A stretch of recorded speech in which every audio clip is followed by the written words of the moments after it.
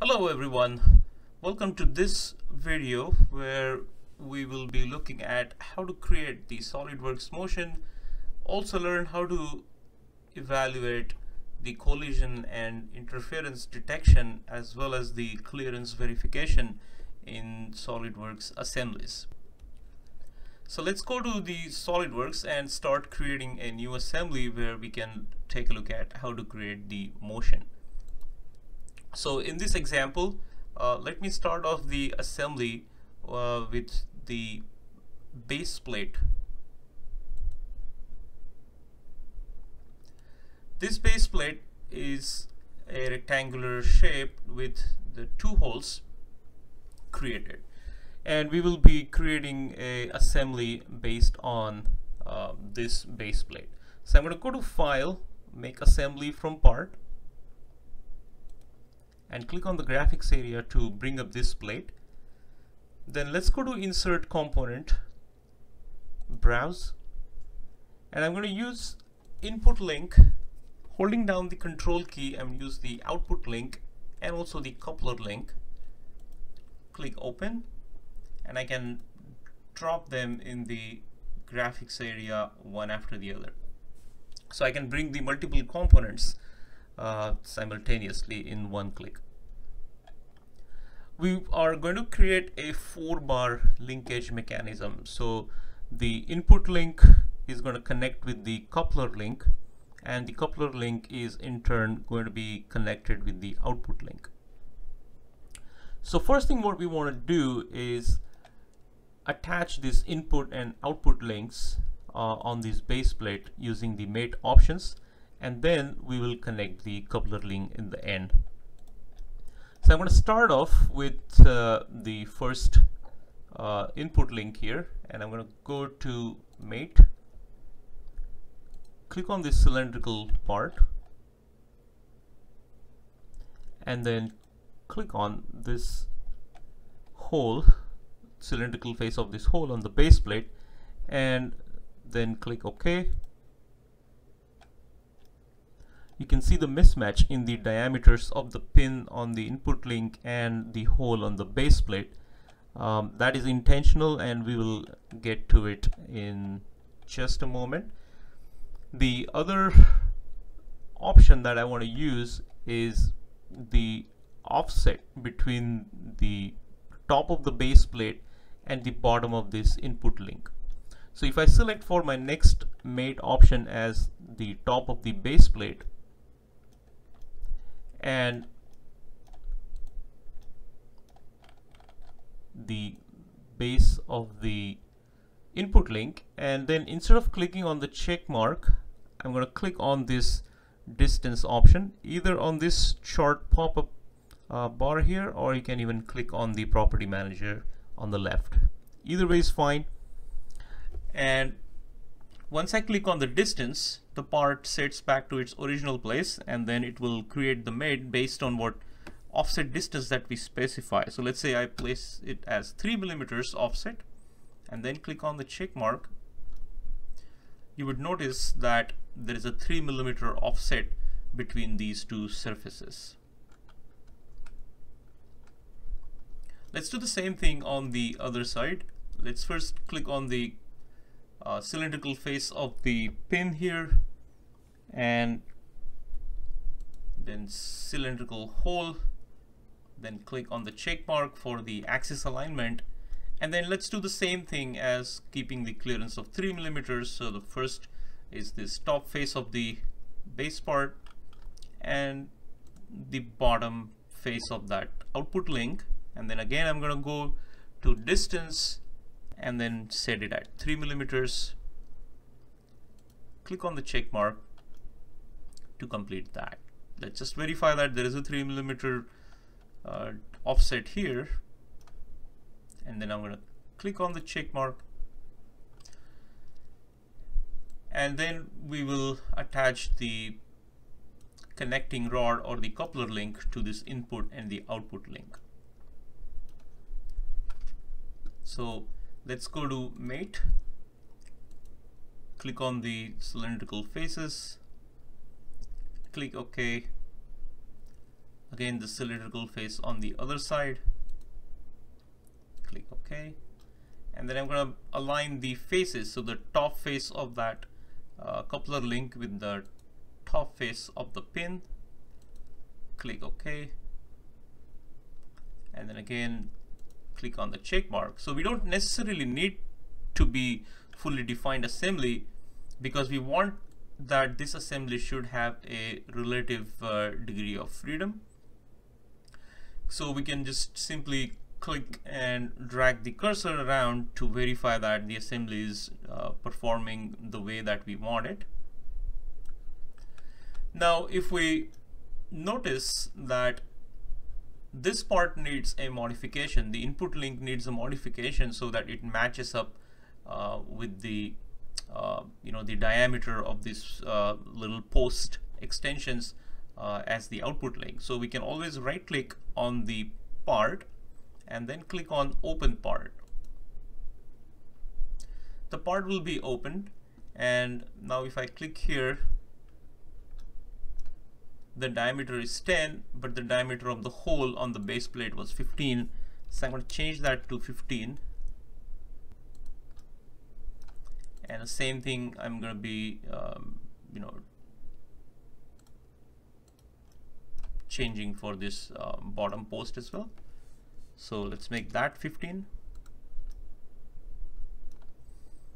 And once we go back to the assembly, you would see a message that says uh, your models contained in this assembly have changed and would you like to rebuild? So click yes and you can see that that particular modification that we just did has uh, taken effect in the assembly as well.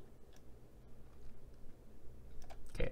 So this is a change point mechanism as uh, you would learn in your kinematics and dynamics classes in the future as after a certain point the mechanism can change uh, the way it is running. For example, right now if the both links are input and output links are performing a clockwise rotation at the change point one link can go to uh, go in the clockwise and the other link can uh, move in the uh, counterclockwise direction.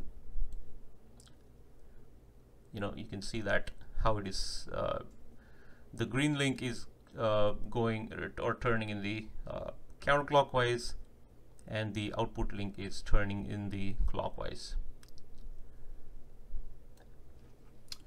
Alright, so that is how uh, we can create the assembly that has a motion and we can use the motion study in order to study this even further. So if we click on the motion study tab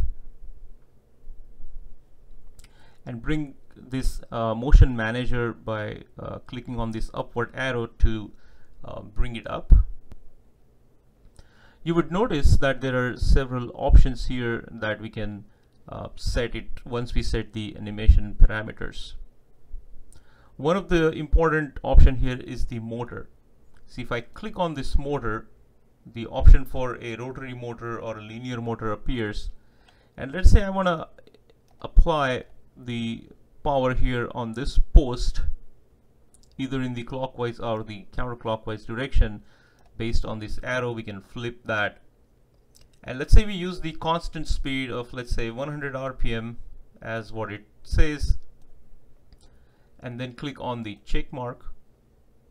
We can run this animation up to whatever desired time that we want and also we can set the playback speed also. So let's say I reduce it to let's say 0.25x and if I now play this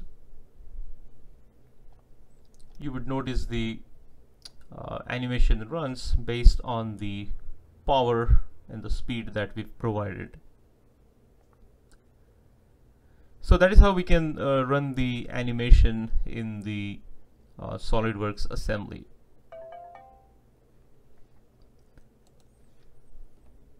Now let's take a look at the collision and interference detection as, as well as the clearance verification. So I'm going to uh, bring this motion manager down here and go back to the model tab.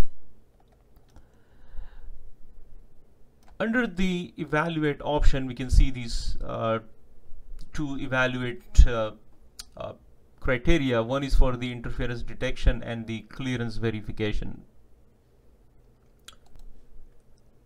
if we want to find out the clearance between the two components in an assembly uh, we can click on the clearance verification. And let's say we want to find out the clearance between the coupler link and the base plate. We can select these two components or we can select one item and then compare that with the rest of assembly. So in this case let's use the select items click on the coupler link and click on this base plate and then depending on what value of the minimum acceptable clearance that we specify we can calculate it. For example if I uh, want to say the minimum acceptable clearance is 10 millimeters and then if I calculate it we can notice the value of the clearance shown in the results as 8 millimeters and it says what is that 8 millimeters is between the base plate and the coupler link on the graphics also it verifies uh, the distance of 8 millimeters shown in the parenthesis as the clearance between the two components. Our criteria was 10 millimeters as the minimum acceptable value. If I change that anything less than 8 millimeters as uh, you know now we know that the distance between the two is 8 millimeters let's say uh, we lower it less than 8 let's say we make it 5 millimeters and then calculate the result will change and it will say that no clearance. So it really depends on what is our parameter that we set here and then the actual distance between the two components. Accordingly the clearance verification results will change. Now if we want to take a look at what is the interference detection. So right now this assembly is kind of unrestricted. There is no interference for the motion of the input output link as well as the coupler link. What I'm going to do is modify the base plate so that there will be some sort of an interference. So I'm going to open this base plate and sketch on the top of the base plate. Let's say I create a uh, circle something like this. Uh, let me quickly assign the dimension here. Let's say this is 20 and also let me align it with the um, well let me just give the um, dimensions here let's say this is 50 and that's 20 and let's extrude this by um, let's say 50 click OK. So that's a extension on the uh, base plate that we've created. And if I go back to the assembly again it will prompt a message to me that the part file is changed. I'm going to click yes to accept it. And now we can see that there is a clear obstruction between the motion. However, the SolidWorks is not going to recognize it automatically. So you can see that the coupler link should be stopped by that uh, pole. So in order to check the interference, first let's go to the assembly tab and then let's click on the move component. So we have different options here under the move component, the free drag or along the assembly or by certain amount, uh, you know, delta xyz, or taking it to some predefined position. So if you let it be on the free drag, um, and then under the options, if I click on the collision detection, we can select the components as these components. I'm going to select the coupler link and this plate. And then I'm going to click on resume drag. So if I go around this side nothing is going to happen until it hits it.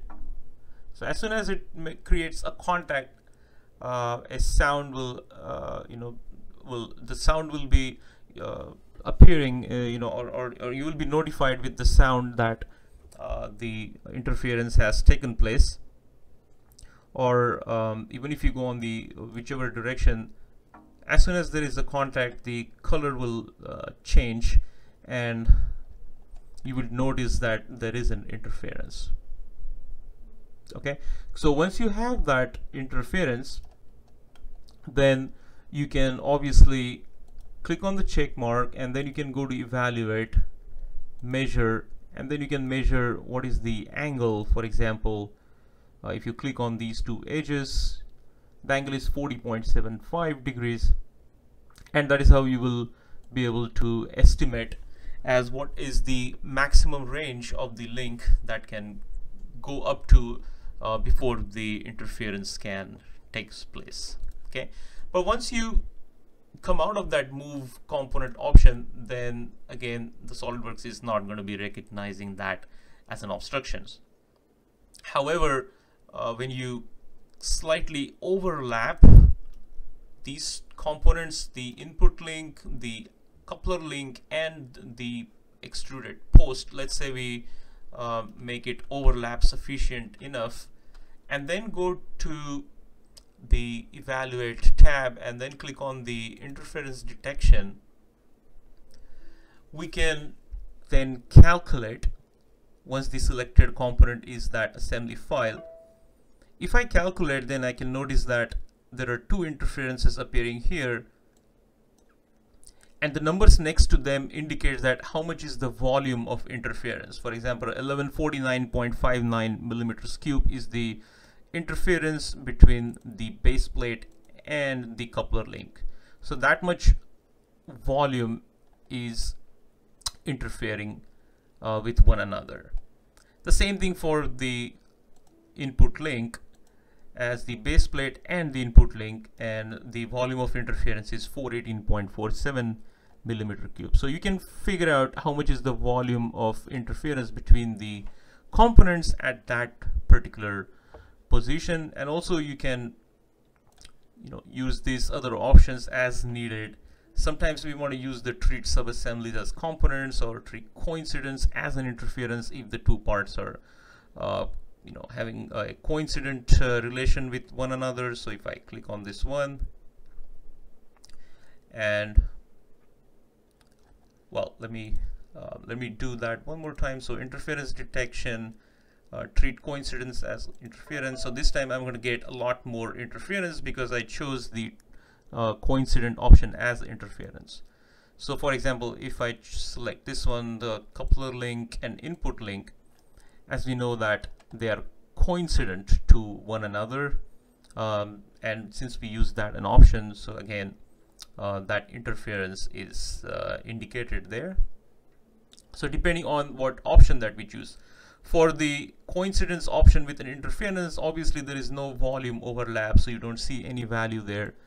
But for those particular parts which are interfering with each other, you can see the volume of interference. So that's the interference detection as uh, we want to measure in an assembly, which is a very critical part of uh, analyzing the assembly. So that's it for uh, this video and uh, Thanks for watching. We'll see you in the next module.